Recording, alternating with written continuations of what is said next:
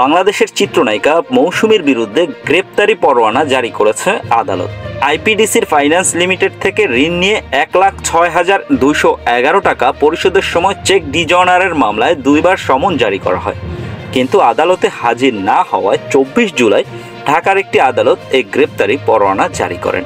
আইপিডিসির finance লিমিটেডের আইনজীবী আবু আল নাহিদ বিষয়টি নিশ্চিত করেছেন। তিনি জানান, দুই হাজার তেইশ সালের তিন ডিসেম্বর চেক ডিজনার হওয়ায় আইপিডিসির দায়িত্বপ্রাপ্ত কর্মকর্তা এম এম মুশফিকুর রশিদ ঢাকার একটি আদালতে মামলা দায়ের করেন। মামলায় হাজিরা না দেওয়ায় আদালত তার বিরুদ্ধে গ্রেপ্তারি পরোয়ানা জারি করেছেন।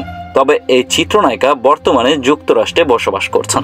কিন্তু তার ফ্যামিলি মানে ওমর সানি বাংলাদেশেই বসবাস করছেন। তবে এই বিষয়ে এখন পর্যন্ত এই দুইজনের কেউই কিন্তু মুখ খোলেনি। তবে চিত্রনায়িকা মৌসুমী যুক্তরাষ্ট্রে থাকবেন না দেশে আসবেন, এই বিষয়টা এখনও সঠিকভাবে জানা যায়নি। তবে দেখা যাক আদালত এরপর কোন স্টেপ নিয়ে থাকেন।